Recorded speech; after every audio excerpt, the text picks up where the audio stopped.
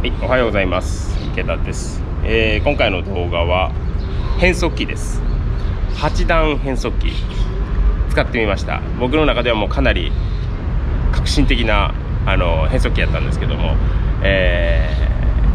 11段、12段、まあ、13段とこう出てくる中で、えー8段というのがですね、あのラインナップされているマイクロシフトのアコレイトという、えーものをですねついにゲットしましたんで、えーそちらをレビューしたいと思います。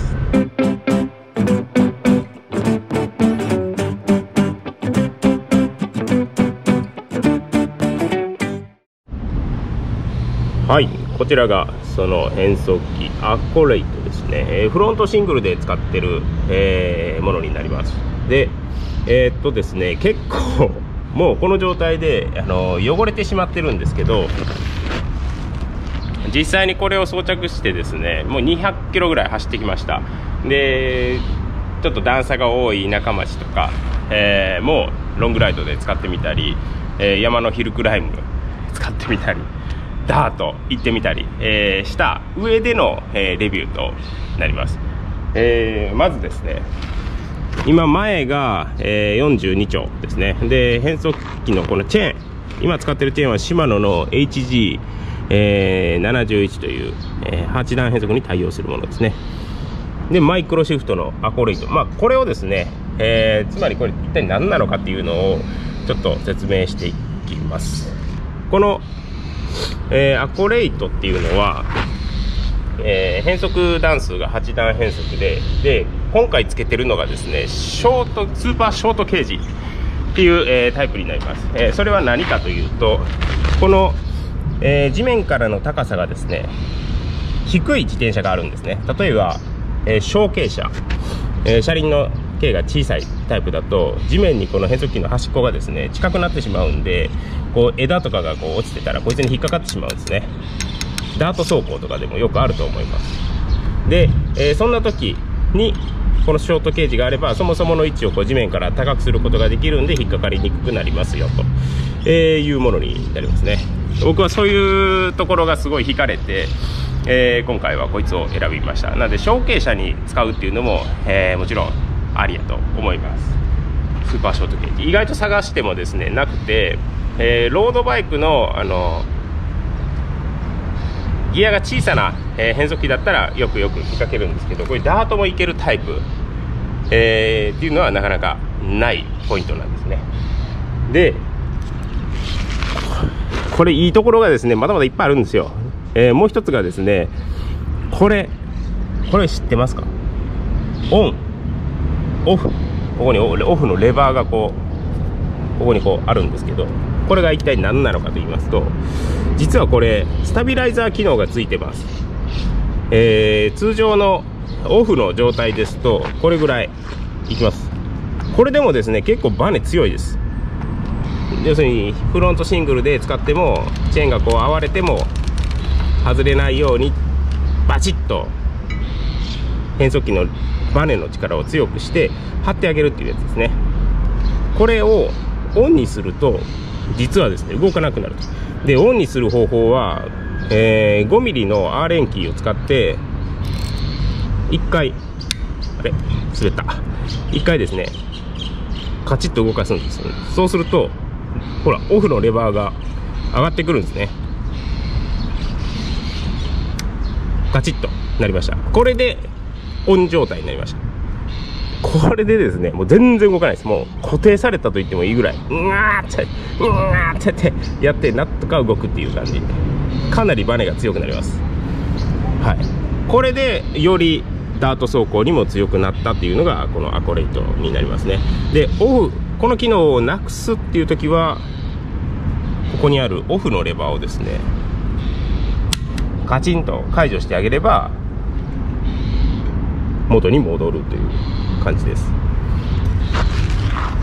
でえっとこれ使ってみたんですけどオンの場合とオフの場合それぞれ変速レバーでやってみたんですけど大して変わりはなかったように思います。僕が鈍すぎるのか、えー何なのか、えーそこはよくわからないですけどそんなに変速にですね違和感はなかったです。やっぱりオフの方が動きやすい分変速性能は若干上がったかなっていうぐらいであのそんなに嫌な気持ちになることはなかったですね。でチェーンが外れるということも今まで1回もないです、えー、結構、えー、無理やりガタガタと言ってもなかったです。はい。っていうのがこの、えー、オンオフのスタビライザー機能ですね。でこれです。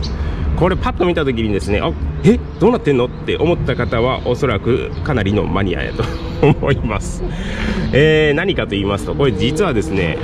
かなりワイドなスプロケットがついてるんですよ。あのこっちがショートケージでこっちがワイドのスプロケがついてるっていうのが素晴らしいなと思ったんです。これ一番大きいところがですね38です。38もうあのー、これでロード行けんかったらもう押して歩くしかないっていうぐらいですね。あのマウンテンバイクのギアだと43とか40まあもう51とかいうでっかいのがあるんですけどまあ舗装路だったらまあまあこれぐらいでいけるんじゃないでしょうかと思いまして。えー、このショートケージロングケージやったらいっぱいありますよ。ロングケージのものだったらたくさんこのワイドなスプロケットが使えるのはあるんですけどショートケージで38が使えるっていうのはなかなかないんじゃないかなと思います。さらにこのスタビライザーがついてると。素晴らしい。僕はもう素晴らしいと思いましたこのセット。なんでもう買ってしまいました。はい。今のところかなり満足してます。満足度高いです。でえっ、ー、と実際に運用してみて、えー、分かったことがありますんでそれを今度はご紹介します。前の方にずれまして。これダブルレバーですね。僕この師匠からもらったサンツアーのダブルレバー使ってるんですけどこういうタイプのレバーで引く場合実はこのアコレイトってですねちょっと引き量が多いような気がします。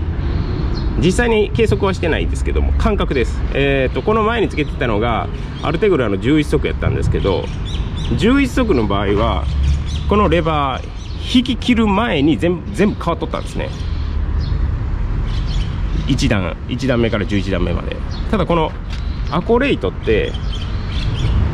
1段から8速段 8速段で 8段までしかないんですけど1こう引き切ってしまうんですね。ギューッと。ギューッと引き切ってちょうどこのダウンチューブとまっすぐになったぐらいで、えー、8段目に到達するという感じなんです。なんで、えー、一段一段のこの引き量ワイヤーの引き量っていうのがちょっと多いのかなと、えー、感じました。でそれが、えー、実はいい点でもあって変速レバーをこう起こす起こして、えー、次の段に行くまでの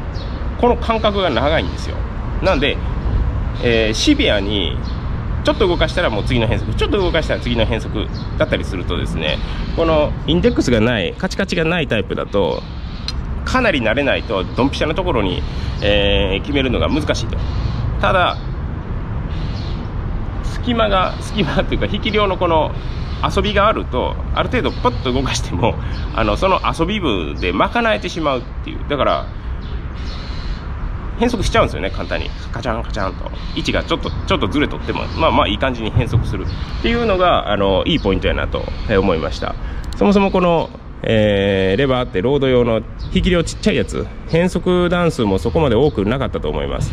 で、これで昔のやつを使っても、えー、そういう感じで、えー、感じられたという感じです。で、えー、もう一個これで思ったのが、まあ、シマノの変速機使っとったんですけどちょっとこれもそれがすごいなというのは改めて思ったですね。あのー、マイクロシフトももちろんこれも素晴らしいんですけどその少しの引き量で確実に決まっていく変速機を出してるシマノっていうのはもうさすがやなと、えー、思いました。どっちが悪いいいとか、えー、じゃなくてやっぱりこう使い方とか、えー、好みとかで分かれるとは思います、え、っていうのをアコレイトを使ってですね改めて思ったです。で、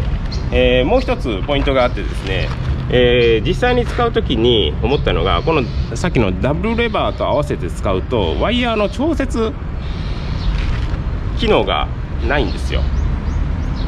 えー、最初初期伸びワイヤーの初期伸びとかをこう調節する調節ダイヤルがですね、えー、普通にセットするとどこにもないのでここにですね1個つけました、えー、シマノのアウターワイヤーを引っ張って調節するやつ。ですね。ああ動かしてしまった。これをつけないと、まあ、ワイヤーが直結するんで、えー、もうここの締め具合で調節するしかないんですね。なんでちょっと微量な調節がしたいっていう時はなかなか、えー、難易度が上がるので、まあ、ここに1個つけてですねえー、ここでくるくる回すことでワイヤーインナーワイヤーの調節ができるようにしました。これで全く問題なく、えー、使えてます。という感じですね。はい。ででまああのー、走ってみた結果あの全く不安はなくで変速機も一番大きなギア軽いギアも小さなギアもまあまああの使うことがあってちょうど良かったです。で38丁あると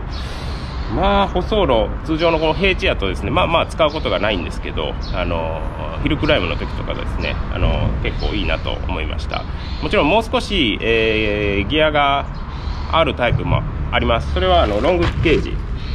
のタイプだったらこのマイクロシフトからも出てるので本当にギアが足りないっていう場合はそっちの方を使っていただければいいんじゃないかなと。僕はこのもうショートケージショートケージがどうしても使いたくて